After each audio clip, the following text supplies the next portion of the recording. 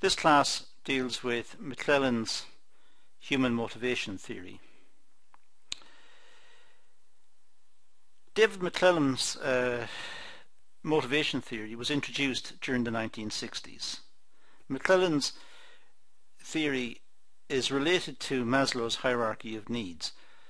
Both theories are attempting to explain human motivation in the same way. Uh, Maslow saw it as a set of needs growing from very basic to self-actualization at the very top of a pyramid. And McClelland sees needs in three ways. So the two theories are related and it's important to appreciate both theories, understand both theories because they are linked. According to McClelland, individuals possess three needs. So we'll deal with these three needs in a few moments, but for the moment, the needs that we've got, or individuals have got, are based on their background, on their culture, their age, their education, their experiences. They're based on many factors. So the person, according to this view, is made up from past experiences and from culture and from the environment in which the person uh, was brought up and, and exists. So there are three types of need and which one dominates is really a function of issues associated with the person's personality and background and so on.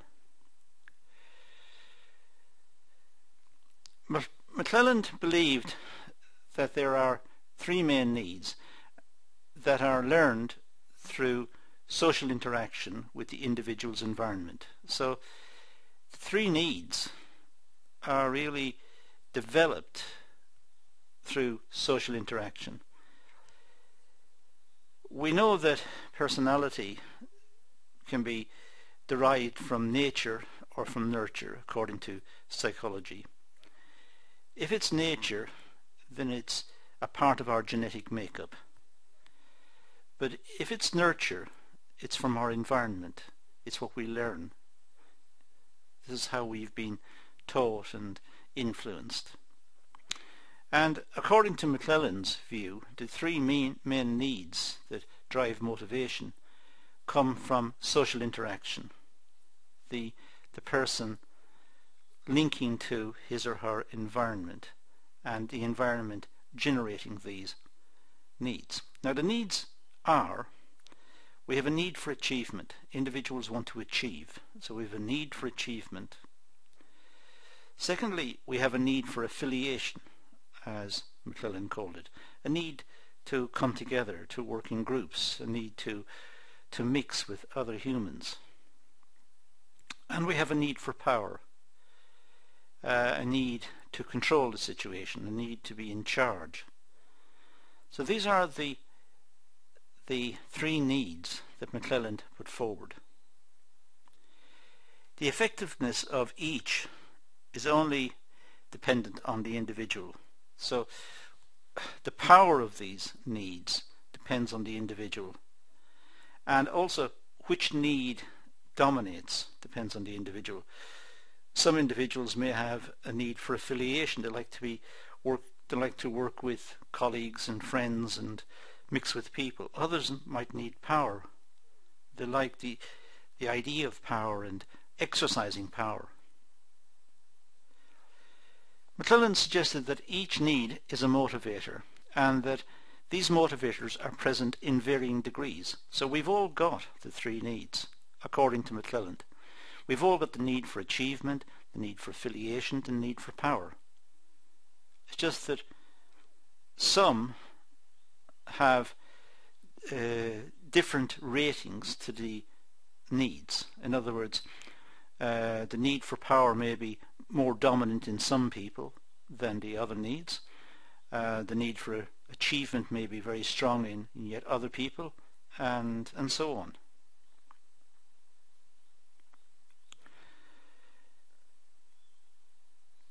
Now, McClelland used what is called the thematic apperception test, TAT, to to try to work out experimentally to try and determine which need dominated and the nature of the needs.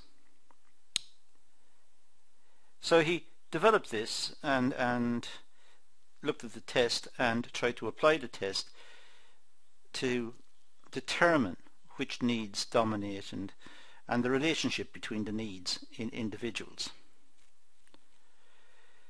Essentially, the test uh, involves showing people pictures and drawings, uh, could be ink blot tests, and asking them to analyze their response. Depending on what their response is uh, for each picture or for each uh, drawing, then there is uh, an indicator as to what type of need is is being is dominant in that person, what sort of personality the person has got. So there are three possibilities, as I said, achievement, affiliation and power. Looking at these pictures, looking at the drawings, uh, the individual can then uh, indicate indirectly by describing the picture, describing what has been what's been looked at, they can indicate which of the three needs dominates what sort of personality they have, in other words. So the individual responses determine what need was most powerful within the individual. And based on that, then the most suitable job role for each candidate can be worked out. What sort of person are they and what sort of job can they do? Now the need for achievement, well, let's talk about this one. It's the first need. Individuals who acquire this need like to take on calculated risks in order to excel and achieve their goals. So need for achievement. They, they like to take on a task that's difficult. Um, but it is achievable. They like to take on the task because they want to achieve, they want to be recognized as someone who did this. These individuals like to set themselves goals that are challenging and exciting, but also realistic. that can be done. So they like to uh, have something which is difficult and challenging, but they can do it. And when they've done it, they like the the applause and the the praise that they get for having achieved that particular task. Generally speaking, they like to work alone but failing that, they will work with other achievers, people of similar dispositions, eh, similar people to themselves, people who like to achieve. So either they'll work alone or they'll work with similar people. They will find out who is similar to themselves and they will work, work with those.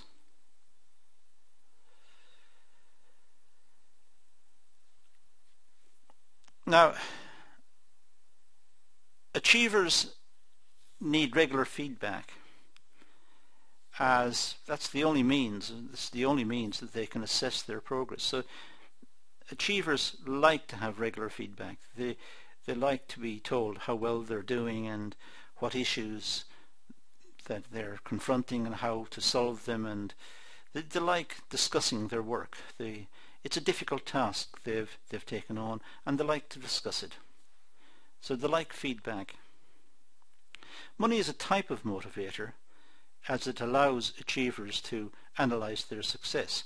It could be that money and salary or bonuses or whatever uh, are linked to achievement. So the more they achieve, the more they get. So it may be a motivator and therefore pay det uh, determines the level of achievement that may be the case. It may also be the case that the individuals simply like being praised. They like to be recognized as the person who did something quite difficult and achieved. They don't need to be constantly praised in order to keep them motivated. Uh, generally speaking, they're self-motivated. They need to achieve for themselves. They know what they want and they want to achieve the task because that gives them the the honor. It gives them something to be proud of. Uh, it it brings the the praise of colleagues and management and other people on them and they like that. Now the need for affiliation the second one this type of need, individuals are more concerned about being liked and accepted. They're worried about their image, they're worried about being liked and being accepted. Uh, they form informal relationships within the organization. There are formal organization, uh, organizations and formal groupings within the organization, within companies um, production people will mix together and marketing people will mix together and accountants will mix together and so on.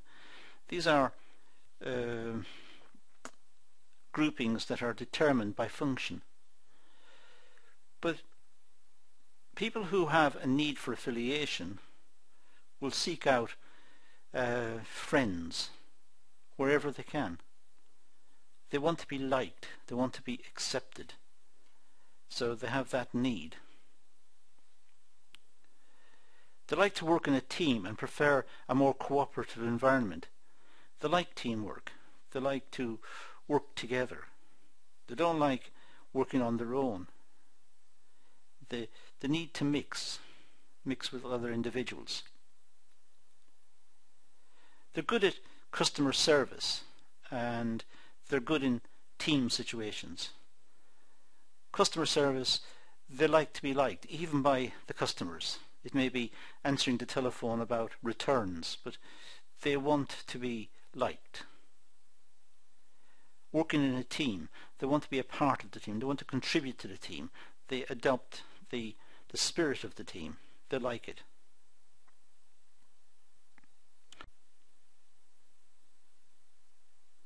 The next need is the need for power. This type of need is associated with individuals who like to take control and lead others. They can be very argumentative and very strong opinions. They're trying to push across their views and get their views accepted. They don't give up easily. So these people have, have a need to lead and to control. They may be suited for leadership roles as they like to dominate and be competitive. So the organization will see someone who's strong in charge of that particular section or department. However, the downside is that they may not instill a lot of motivation in the workers. The workers may not be motivated. They, they're not consulted, and if they are consulted, their their opinions are ignored. So this type of person uh, comes to the fore because he or she likes power, they like to control. So cooperation with the workforce and collaboration with the workforce is not a part of this uh, this need. The motivator can be divided into two parts. Uh, there's an institutional part. Individuals like to organize. They just simply like to organize the department. They see the department, they think it could be organized better, they want to take control.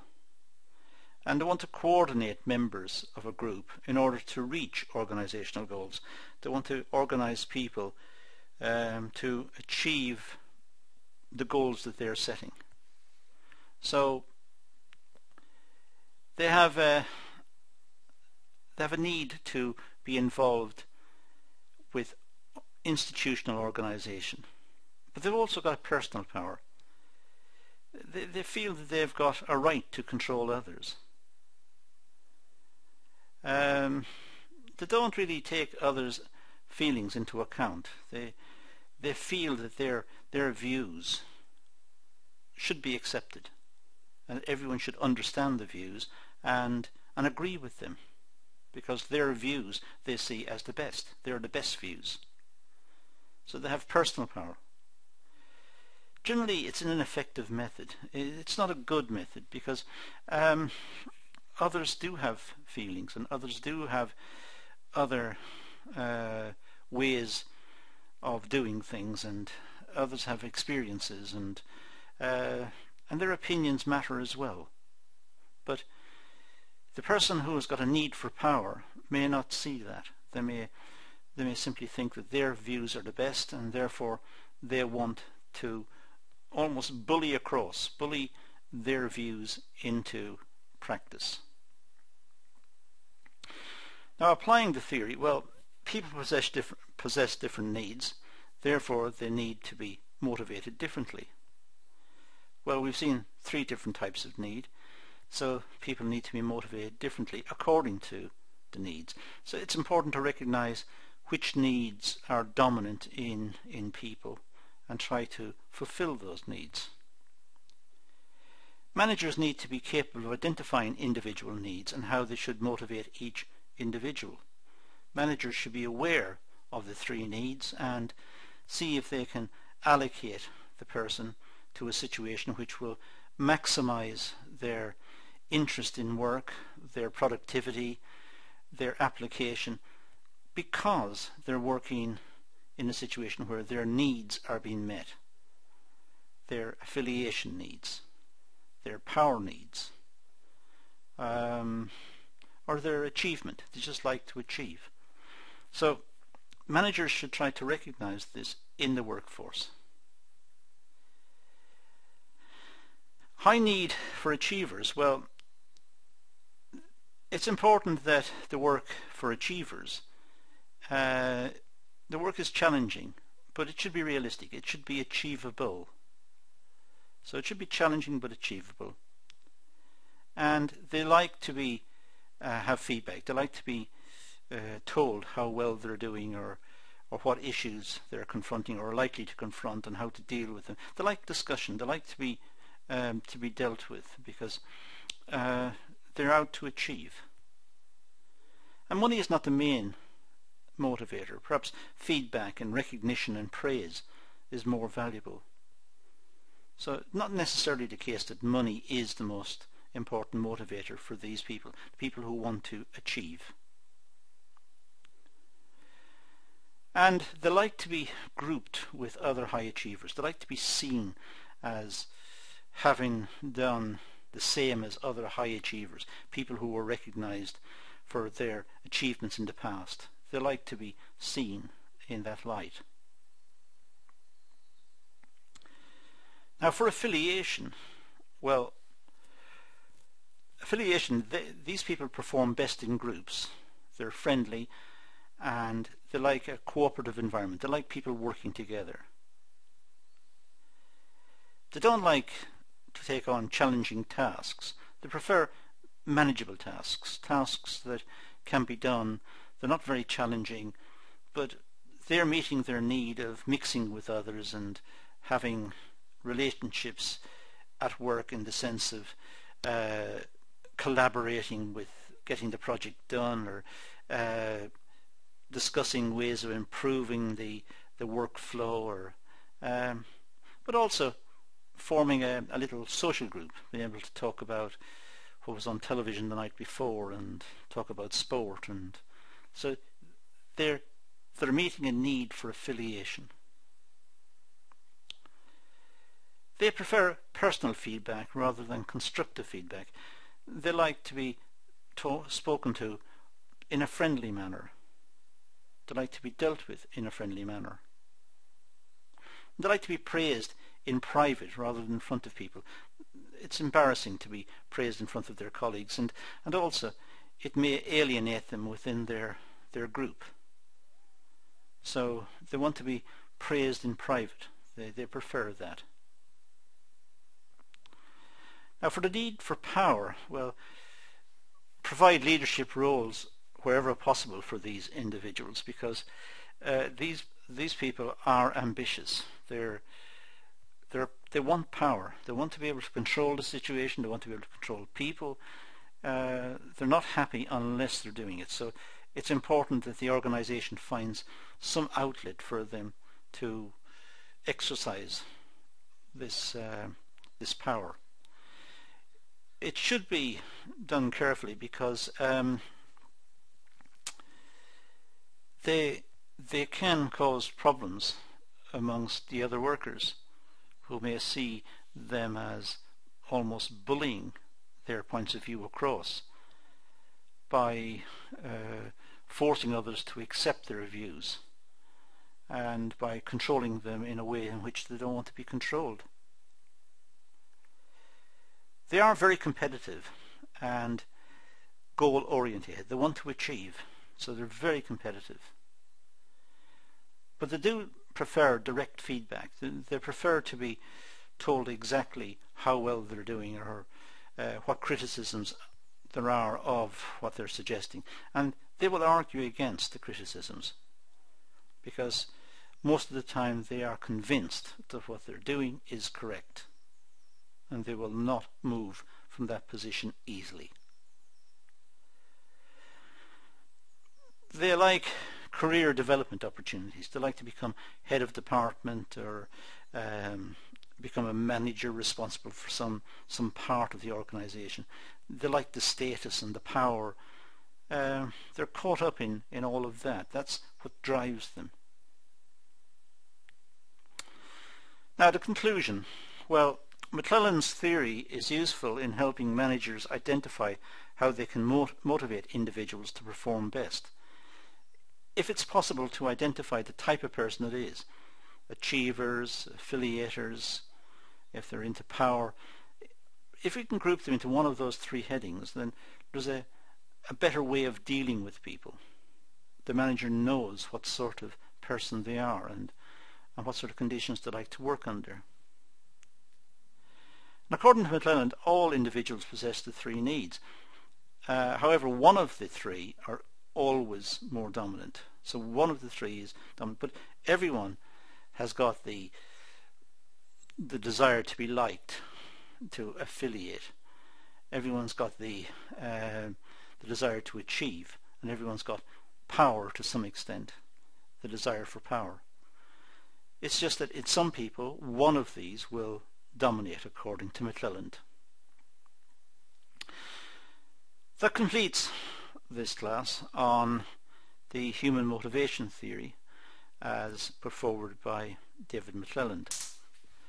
Um, that's that's all I'm going to uh, do on this session, so I'm going to leave it at that and say thank you for watching.